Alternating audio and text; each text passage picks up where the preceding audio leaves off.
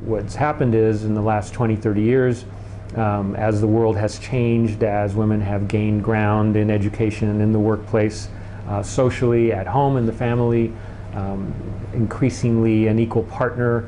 Domestically, uh, men are still trapped in the past. They are um, behind women in their ability to adapt. They're not equipped to move forward into the new technologies and professions of the 21st century.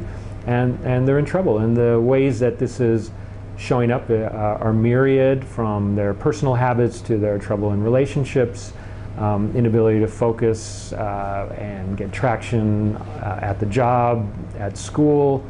Um, you know, increasingly, they're not getting married or being able to live up to the obligations of being a, a father, let alone the head of a household. Um, and the implications for this are um, not just profound and wide ranging, but are dire for um, all Americans, women and men. And increasingly, this is an international syndrome as well.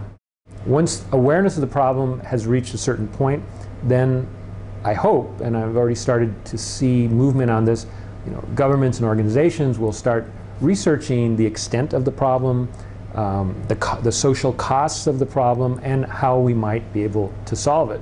But really, until uh, there's a discussion that, yes, we've got a problem here, and two, we better do something about it because we all have something at stake, uh, we're not going to get anywhere at all. I mean, that has to be the, the beginning of it.